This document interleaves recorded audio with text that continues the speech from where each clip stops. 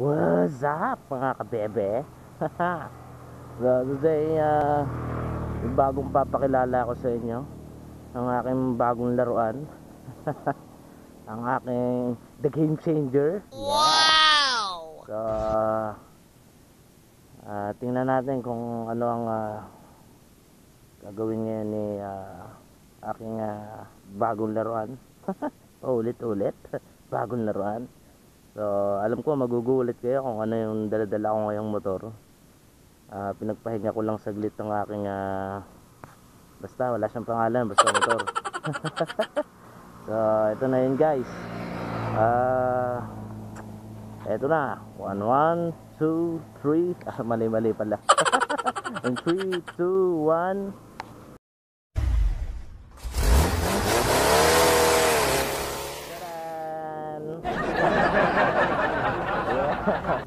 Aba, uh, CD100 Kawasaki Badja. so, try na natin guys. Kala nyo kung ano na ano. Kala nyo nag-big bike na ako ah. ah shit. So, medyo mababa kasi ko. Uh, 5'3 lang ako, 5'4. Ah, uh, oh yeah. Oh, 5'3 nga yata. Ang ang uh, height ko ganun lang. Kaya i-stock na ito. Ito all stock ito. Maliit lang kasi ko pero yung iba kasi nilo-lowered yung ganito so try na natin guys. So by the way dito pa pala ako sa Nueva Ecija. No, kinuha ko lang siya kagabi Santa Rosa uh, medyo naulan-ulan kanina kaya hindi ako nakapag-record. Kakagabi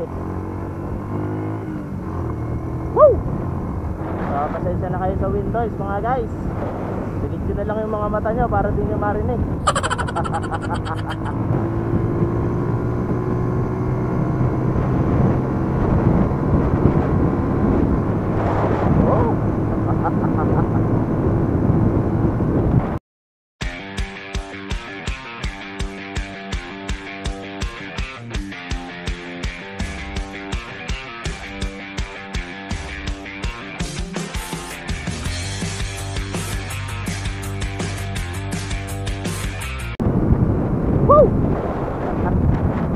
ako nasasahan sa tulid. so, hindi kasi ako naka ano ngayon guys. Hindi ako naka pag-set ng record sa aking telepono. Uh, next vlog ko, ito na ang kasama ko muna. Bali, mga 10 pesos sa akin.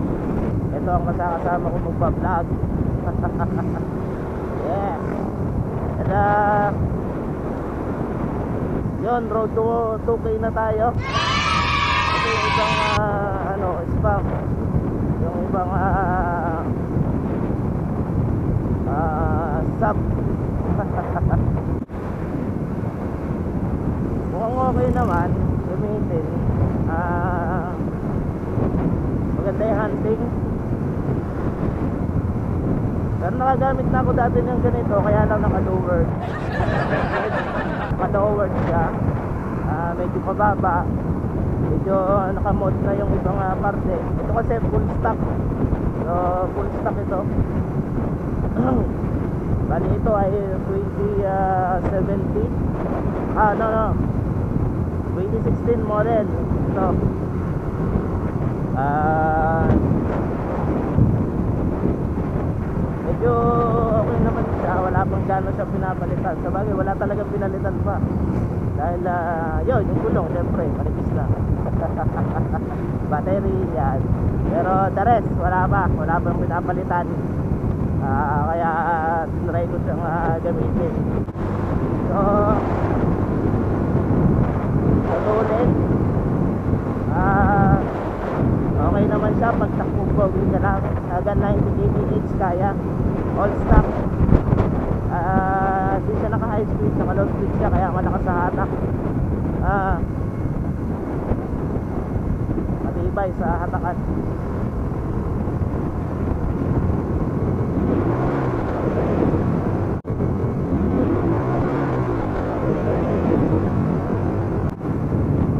Ah, sa tulin guys, wala kayong maasahan dito sa tulin.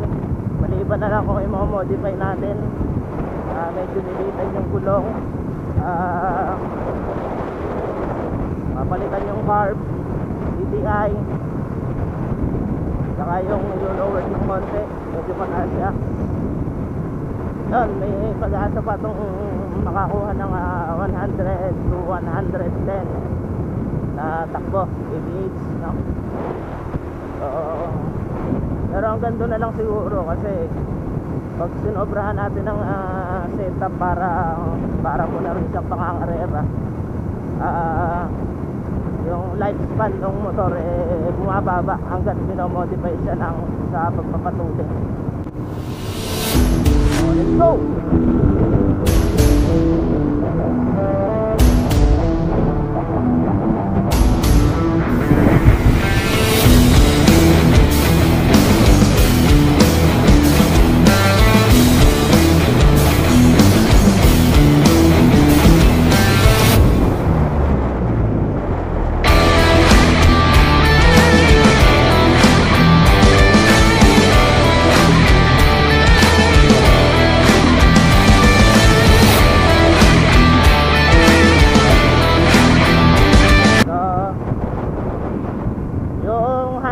niya, ah, okay. Comfortable. Hindi nakakangawit.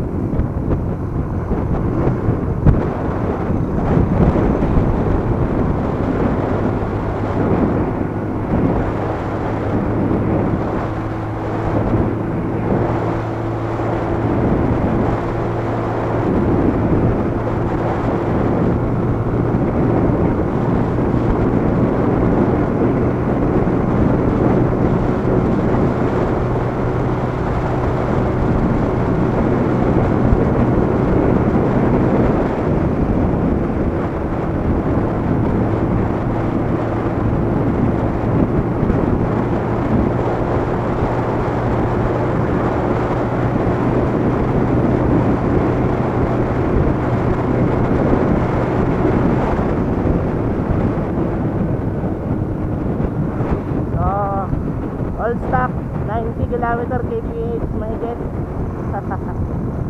so, okay na siya. Maganda na rin.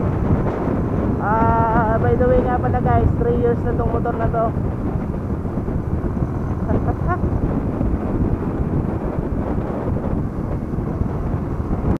Woo! So, here at Shell, magas tayo ng 20. Wow! That's a BMW R90. Wow! Yeah. It's awesome. Ah, wait lang, tingnan ko kung Ah, kung ano yung gas nito.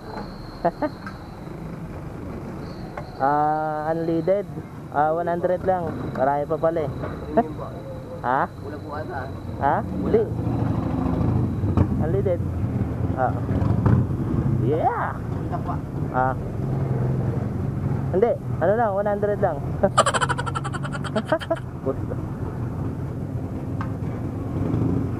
Damn.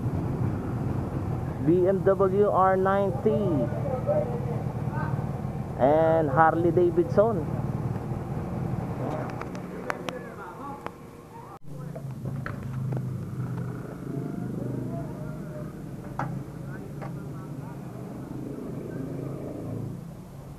Yeah, baby. And uh, CBR 1000 RR. Wow! Yeah. Karerahin ko kaya itong mga to.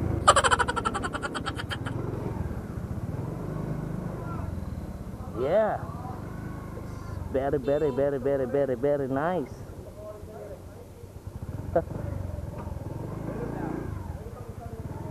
Woo! The NC. NC15. Grabe mga naglalabasan dito sa Nueva Ecija. so, medyo inosente. At, uh, grabe! Saya ko!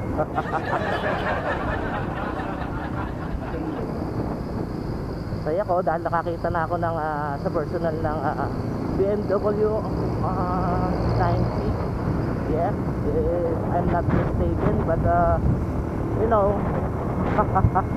And the Harley Davidson yeah uh, usually nakikita ko siya sa NLEX ng yung ah, grupo ng Mad Dog so almost ano sila ah, Harley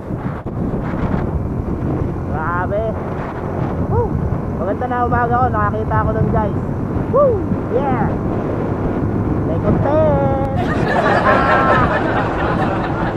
Woo!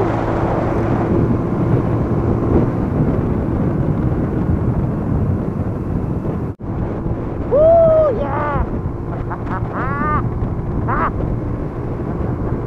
Ito yun sa likod ko. so, na tayo sa Arco guys. Lalakas ako nuloy boss ko para maanonin nyo. yeah, that's the arc of uh, uh, Nueva. Bye-bye!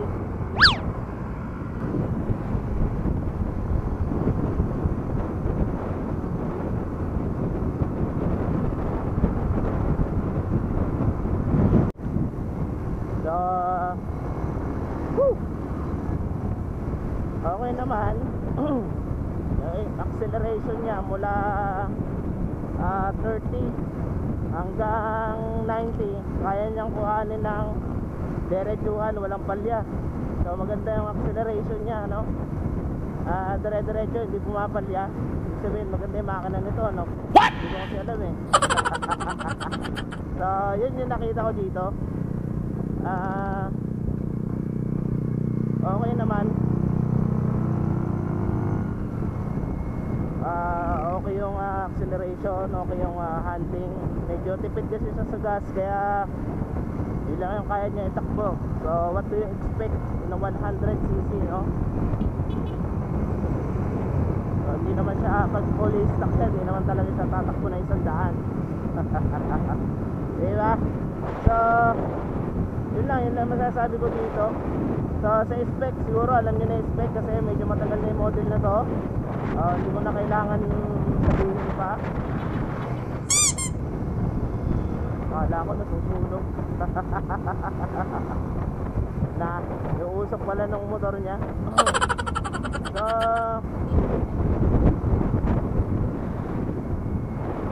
okay naman. Medyo matangkad lang ng konti. Kaya, pero pag nakasakay ka na, magandang i-handling para yung malalaking motor. And uh, thank you, thank you, thank you sa lahat ng uh, sumusubaybay ng ay, sumusubaybay, sumusubaybay ng aking uh, programa. At ako yung nag-iwan sa inyo ng ah isang kasabihang keep calm and smile, pampa good vibes yan. And this is Baby Rider signing up. Baboos!